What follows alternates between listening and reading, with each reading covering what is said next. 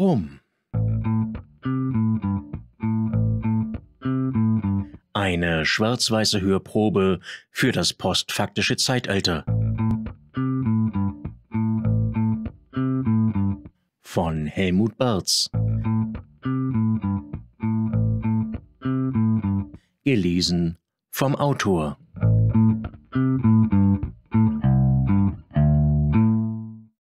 Kapitel 1 Brumm Ein Höllensturz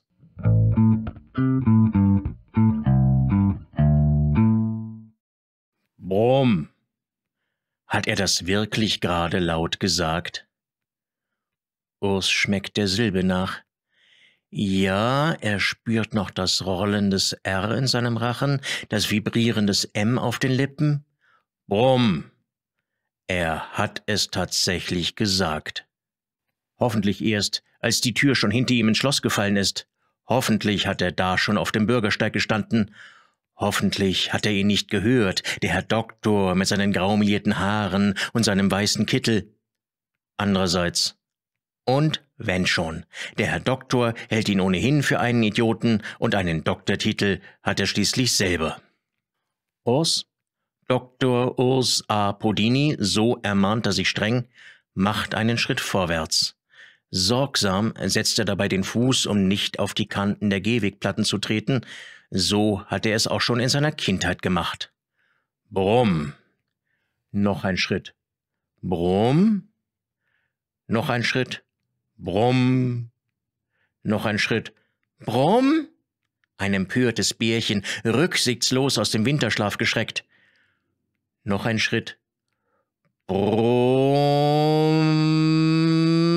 Das R in der Kehle rollend, das M auf den Lippen kitzelnd, ein Kind, das Auto spielt. Oder ein Erwachsener, der sich am Steuer seines Wagens unbeobachtet wähnt. Noch ein Schritt. Brumm. Mit einem Hauch der Verzweiflung leise verklingend, ein letzter Protest gegen das Unvermeidliche. Noch ein Schritt. Brumm, machtvoll in die Luft gemeißelt, laut, leise, sanft, schroff, zärtlich, verletzend, wütend, erfreut, gerufen, gehaucht, geflüstert, gespien, gesäuselt und gebrummt. Brumm. Da steht Urs nun, die Füße genau auf zwei Gehwegplatten, Zehen und Hacken gleich weit von den Kanten entfernt, und erfreut sich am Klang der fünf zur Lautmalerei gereihten Buchstaben. Warum geht ihm diese Silbe nicht aus dem Kopf? Seit diesem Morgen schon. Bärchen, hat Caroline ihn genannt. Aus dem Mund seiner Lebensgefährtin ist das allerdings kein Kosename, sondern ein subtiler Hinweis darauf, dass er abnehmen und daher nicht so viel naschen sollte. Hör mal, Bärchen, hat Caroline an diesem Morgen gesagt und damit ihre übliche Kaskade von Geboten und Anweisungen eingeleitet, den karolingischen Tagesbefehl. Alles verstanden, Bärchen? hat sie zum Abschluss gefragt, da ist es ihm rausgerutscht, das bestätigende Brumm. Caroline hat das nicht komisch gefunden. Verständlich. Sie steht unter Stress, wo doch an diesem Tag das große Symposium beginnt. Vom Ideal der Simulation zur hüllenlosen Authentizität Körperbilder im 21. Jahrhundert. Ihre erste, praktisch im Alleingang organisierte Großtat als frisch gebackene Juniorprofessorin der Theaterwissenschaft, da ist kein Platz für ein vorlautes Brumm. Urs hat sich also sofort bei ihr entschuldigt. Caroline hat ihm großmütig verziehen und ist dann davongeeilt zum Bahnhof Professor Dr. Mariele Juncker-Stockmann abholen, die Starreferentin des Symposiums. Seither ist Urs diese Silbe nicht mehr aus dem Kopf gegangen. Brumm. Auch während der Konferenz mit dem Herrn Doktor nicht. Ja, Konferenz. Als promovierter Germanist weigert sich Urs das Wort Meeting auch nur zu denken, eines dieser zuckerwattig rosafarbenen Wörter, die auf der Zunge kribbeln, als würde man an den Polen einer Batterie lecken. Die Konferenz hat ihn also dazu gebracht, es laut auszurufen Brumm.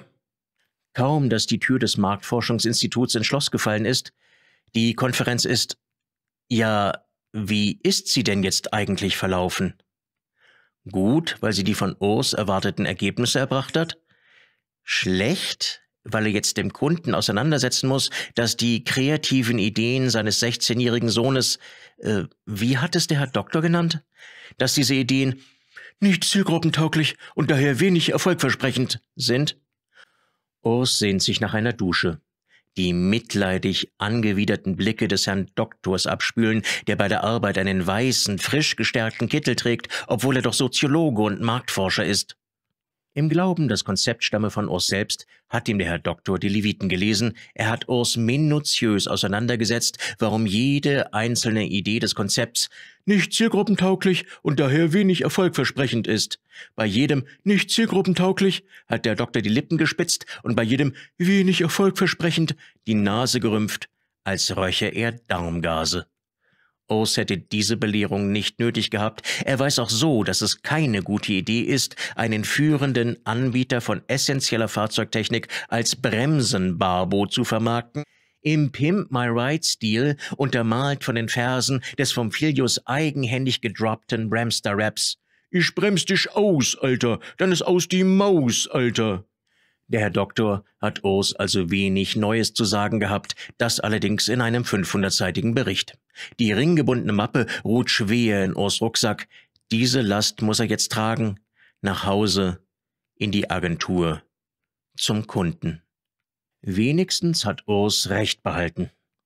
Kein Grund für Triumph und knallende Sektkorken, Urs behält oft Recht. Er ist ja nicht erst seit gestern Kreativdirektor und Co-Geschäftsführer der Summerpot Kommunikations GmbH Offenbach. Deshalb weiß er auch bereits, wie die Geschichte ausgehen wird. Der Kunde wird dennoch auf der Umsetzung des Konzepts seines Sohnes bestehen, er wird viel Geld versenken, sein Traditionsunternehmen wird im Shitstorm der Häme ins Schlingern geraten, schließlich wird der Kunde die Agentur wechseln, wegen inkompetenter Beratung. Den Kunden werden sie also in jedem Fall verlieren. Dann lieber vorher noch abkassieren. Das zumindest wird Urs beste Freundin und Geschäftspartnerin Alexa sagen. Also, das Gutachten in die Agentur tragen, dem Drang widerstehen, Herrn Dr. Ing Herzog samt schöpferischem Filius den ringgebundenen Bericht auf die Hinterköpfe zu hauen, auch wenn der Herr Dr. Ing Herzog, Geschäftsführer von Herzog Raubach, dem führenden Unternehmen für Verzögerungstechnik, alle Argumente vom Tisch fegen wird, an den Umsatz denken, freundlich nicken und lächeln. Warum fällt diese Art der Krisendiplomatie eigentlich immer ihm zu? Eine rhetorische Frage. Urs weiß genau warum. Seine wenig furchteinflößenden 170 Zentimeter Körpergröße, okay, 164 Zentimeter, aber keine Millimeter weniger. Seine Stimme, warm, weich, Gerne spricht er die von ihm ersonnenen Werbespots und Filmtexte selbst ein, zumindest in der Entwurfsphase. Der respektheischende Doktortitel, ob er sich auch einen weißen Kittel zulegen soll? Und dann ist da natürlich sein Sprachfehler, Urs kann nicht Nein sagen. Eigentlich wäre das Überbringen schlechter Nachrichten ja Aufgabe des Account Managers, ein Ausdruck, den Urs nicht anders als Kloakenbraun denken kann, mit einem Nachgeschmack von Großkantinen Bratensoße. Der Account Manager besteht jedoch auf diesem Titel und ebenso darauf, Herb genannt zu werden, mit amerikanisch gerolltem R. Er hat mal ein Gastsemester in New York studiert. Herb wäre zwar eigentlich für die Kommunikation mit Dr. Ing Herzog zuständig, hat sich aber schon seit einiger Zeit strategisch retreated, um One-on-One Communications zwischen Kreativen und Kunden zu enablen. Übersetzt, Herb ist das, was man in der Branche ein Trüffelschwein nennt. Mit seiner empfindlichen Nase wittert er Geschäftschancen ebenso gut wie, in diesem Fall, heraufziehende Krisen. Also hat er den Kopf eingezogen. Urs zieht die Riemen seines Rucksacks fester. Dann setzt er erneut seinen Fuß vor, wieder genau auf die Gehwegplatte und noch einmal. Und noch einmal. Über die Ungerechtigkeiten dieser Welt kann er auch später noch lamentieren, morgen zum Beispiel. Genau, morgen. Er blickt auf die Uhr seines Handys, halb eins, Mittag, Nachmittag, praktisch schon Feierabend, also erstmal heimfahren, duschen, Homeoffice bei einem Glas Rotwein, auf zur S-Bahn, zur Konstabler Wache. Vorbei an Transitions.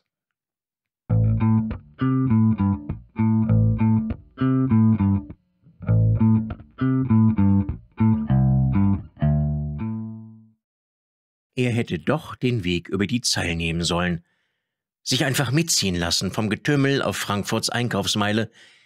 Er hätte nicht auf dem Holzgraben bleiben sollen. Die parallel zur Zeil verlaufende Gasse ist bisher von Sanierungswahn und Gentrifizierung verschont geblieben, zumindest fast. Das Marktforschungsinstitut mit seiner Fassade aus dunklem Stein und verspiegelten Fenstern ragt zwischen den alten Häusern auf wie ein nagelneuer Stiftzahn aus dem kariösen Gebiss eines Kettenrauchers. Hier im Holzgraben gibt es sie noch, die Resterampen und Waffengeschäfte, die Gebrauchtwarenläden, in denen man sein Autoradio zurückerwerben kann, die Kneipen, aus denen man das abgestandene Bier bis auf die Straße riecht und deren Wirte auf die Frage nach einem Latte Macchiato antworten. Latte? Die Puffs sind in der Taunusstraße. Und hier, auf der Straßenseite, auf der Urs geht, aber wechseln hätte auch nicht viel genützt, der Holzgraben ist nur eine schmale Gasse, hier hat auch Transitions seine Heimat gefunden, schnell daran vorbei. Diese Scham ist doch albern, ermahnt sich Urs. Transitions ist doch kein Sexshop. Find your identity steht auf dem an zwei Ketten aufgehängten Schild über dem Eingang der kleinen Modeboutique. Im Schaufenster stehen Pumps, bis Größe 47 lieferbar. Männliche Schaufensterpuppen tragen Abendkleider mit tiefem Ausschnitt und ohne Abnäher. Maskuline Torsi präsentieren Bustiers mit integrierter Oberweitenpolsterung. In den Schaufenstern der Zeil kann man Aufreizenderes bewundern, wenn auch in kleineren Größen und gefertigt für die stolzen Besitzerinnen von doppelten X-Chromosomen. Mit Abnähern, die Dessous haben keine integrierte Oberweitenpolsterung, zumindest nicht die in der Auslage. Zwar benötigen auch doppelte X-Chromosomen manchmal ergänzende Fülle, doch diese wird schamhaft erst im Geschäft selbst offeriert. Zum Beispiel bei Beautiful Curves, einem Fachgeschäft für Damenunterkleidung auf der im Frankfurter Volksmund Freskas genannten Verlängerung der Zeil.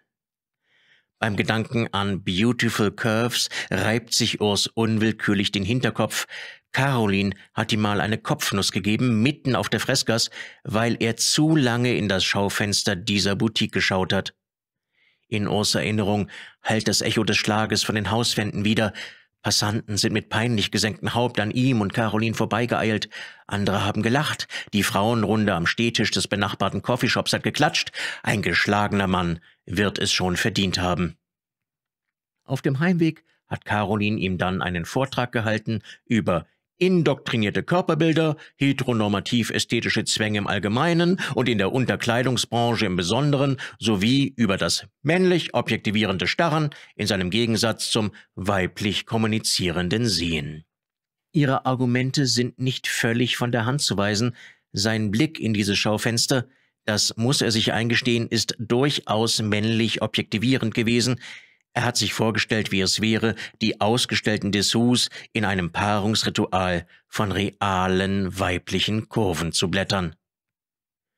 Es sind nicht Carolins Kurven gewesen, nicht ihr hat er in seiner Fantasie gehuldigt, sondern Ayla wenn die Auszubildende auf den Wellen ihres Hüftschwungs durch das liebevoll Erdmännchenkolonie genannte Großraumbüro von Summerport segelt, die dunklen Augen glänzend, die Wangen unter dem Karamell ihres Tons gerötet, das Lächeln ihrer Lippen geschwungen wie eine stolze Fahne im Wind, den doppelten Bug ihrer vom Rollkragenpullover keusch verhüllten Brüste vorgereckt, die schwarzen Haare bauschend wie die Segel eines Dreimasters, dann sinkt in ihrer Bugwelle die Produktivität auf Null.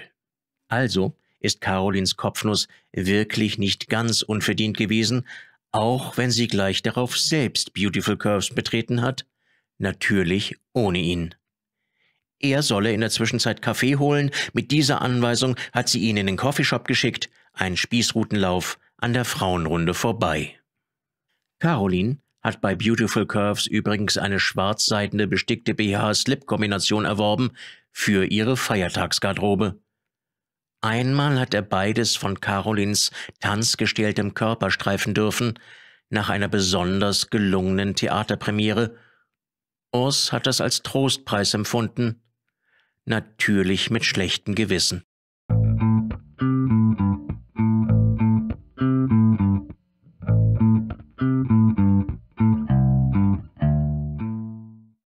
Transitions. Was Caroline wohl zu der magischen Anziehungskraft sagen würde, die die Auslage der Boutique auf Urs hat? Sein cisgender, männlich objektivierendes Starren, so hört er Caroline in seinem Kopf dozieren, ist eine Penetration des Schutzraums für die geschlechtlich nicht-binäre Klientel dieses Geschäfts. Das stimmt sicher. Urs ist am Tragen von Damenpumps nicht interessiert, schon gar nicht in Größe 47. Das wäre auch gar nicht seine Showgröße, der Schöpfer hat ihm kleine Füße gegeben, schlanke 39. Tatsächlich tragen Caroline und er beide exakt das gleiche Sportschuhmodell, wenn sie ins Fitnessstudio gehen. Caroline findet das witzig. Dabei hat Urs das Geschenk romantisch gemeint. Wie dem auch sei. Bloß keinen Seitenblick in das Schaufenster von Transitions, auch keinen schnell erhaschten. Er spürt Carolins Finger hart auf seinem Hinterkopf, in innerer Verbeugung vor dem Großmeister der Psychoanalyse muss er zugeben, dass sie seine vor einigen Jahren kurz hintereinander verstorbenen Eltern erfolgreich als Über-Ich abgelöst hat. Vorwärts Marsch, Augen geradeaus, einfach vorbei, keinen Blick riskieren, aber schwarz wie Obsidian, weiß wie Schnee, die feinen Haare strahlen im Licht der Halogenlampen wie eine Gloriole. Dieses Objekt, das dort, gehalten von einem Mannequin, im Schaufenster von Transitions steht, verdreht Urs den Kopf, doch es bremst leider nicht seinen Schritt. Er hebt lediglich seinen rechten Fuß nicht so hoch an, wie er es hätte tun sollen. Eine Platte des Bürgersteigs ist gekippt, unterspült von jenem Dauerregen, der erst vor kurzem einem warmen Frühling gewichen ist, die Kante der Platte ragt über den Gehweg empor, einen Zentimeter vielleicht oder weniger, hoch genug, dass sich Urs Schuhspitze daran verfängt. Sein Fuß wird abrupt gestoppt, die restlichen 79 Kilo seines Körpers jedoch sind träge Masse, Kopf, Torso, Arme, linkes Bein bewegen sich weiter vorwärts, während der Rückprall seiner Zehen von der Steinplattenkante das rechte Bein nach hinten katapultiert. Dort im Schaufenster steht ein Panda und ich werde stürzen. Ein Moment der Klarheit. Dann schrammen seine Hände auch schon über das Pflaster, der Reibungswiderstand stoppt seine Vorwärtsbewegung. Gut, dass meine Unterlagen und mein Notebook im Rucksack und daher geschützt sind. Noch so eine luzide Hundertstel Sekunde, dann schlagen ihm, dem Trägheitsgesetz folgend, mehrere hundert ringgebundene Seiten gegen den Hinterkopf, ein letzter garstiger Kommentar des Herrn Doktors und die züchtigende Hand Carolins zugleich. Urs verharrt auf dem Boden, sein Knie schmerzt, seine Hände brennen, sein Schädel dröhnt, aber wenigstens ist er zum Stillstand gekommen, der Angriff der Newtonschen Gesetze ist vorüber. Das war ein Auszug aus Brumm eine schwarz-weiße Fabel für das postfaktische Zeitalter. Von Helmut Barz. Gelesen vom Autor.